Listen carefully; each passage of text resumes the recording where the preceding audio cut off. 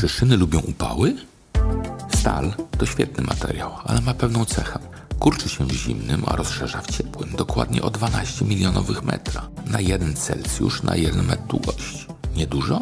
Wraz ze wzrostem temperatury o 1 stopień 5-kilometrowa szyna wydłuży się o niecałe 6 cm.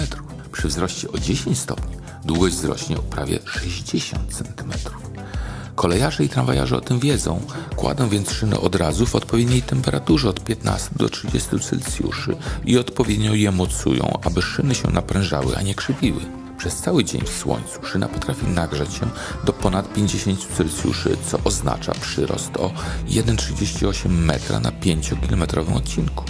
Na te zjawiska narażone są szczególnie szyny torów bezstykowych, czyli takich, w których szyny są spawane lub zgrzewane. Powstają w ten sposób długie toki szynowe, których stabilność i właściwy przebieg zapewnia odpowiednie mocowanie do ramy toru, które utrzymuje je i pozwala na zmianę geometrii. Jednak wszystko ma swoje granice. I przy dużym wzroście temperatury mocowania mogą sobie nie poradzić z utrzymaniem prawidłowej geometrii toru.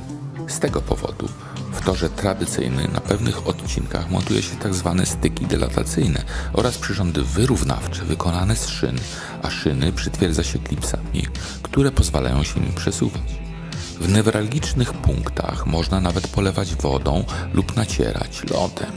W 2014 roku w Krakowie podczas upałów na torowisko tramwajowe wylewano dziennie 32 tysiące litrów wody. A jak radzą sobie w krajach, gdzie temperatury są jeszcze wyższe?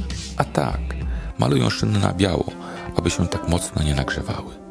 Dziękuję. Rafał Sosnowski, prezes firmy Sosnowski, dostarczającej eksperckich rozwiązań kolejowych.